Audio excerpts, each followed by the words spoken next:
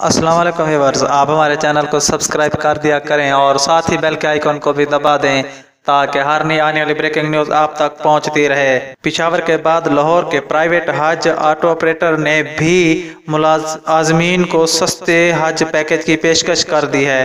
آل پاکستان حج form اسوسی ایشن کا کہنا ہے کہ اگر حکومت تمام پرائیویٹ حج ٹور اپریٹرز کو مساوی کوٹا دیتی ہے، تو حج اخراجات میں نمایاں کمی آ سکتی ہے۔ لاہور پریس کلب میں پریس کانفرنس کرتے ہوئے آل پاکستان حج فارم اسوسی ایشن کے رہنما نے کہا ہے کہ وہ حکومت کے مقابلے میں عازمین کو تین لاکھ پچہتر ہزار روپے کا حج پیکج دے رہے ہیں۔ ایسوسی ایشن کے صدر عادل بٹ نے کہا کہ ہم عازمین کو وہ تمام سہولیات دیں گے جو سرکاری حج پیکج میں ہیں۔ تاہم، اس کے لیے ضروری ہے کہ حکومت انہیں بھی دیگر حج ٹور اپریٹر کی طرح برابر کا کوٹا دے۔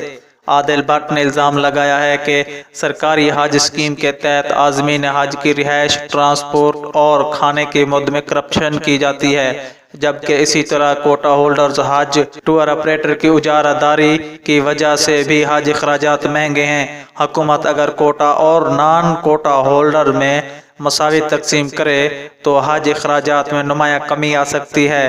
عادل بٹ نے بتایا کہ اس وقت ملک بھر میں آٹھ سو ایسے حج ٹور اپریٹر ہیں جن کو حکومت کوٹا دیتی ہے، جبکہ تین سو ٹور اپریٹر ایسے ہیں جو رجسٹرڈ ہیں، لیکن حکومت انہیں حج کوٹا نہیں دیتی۔ اسوسی ایشن نے وزیر اعظم سے اپیل کی ہے کہ حج پالیسی کے حوالے سے ایک خاص طبقے کو نوازنے کا نوٹس لیا جائے۔ واضح رہے کہ اس سال پاکستان عازمین حج کا کوٹا ایک لاکھ چوراسی ہزار دو سو دس ہے اور سرکاری سکیم کے تحت حج اخراجات چار لاکھ چھتیس ہزار نو سو روپے ہیں۔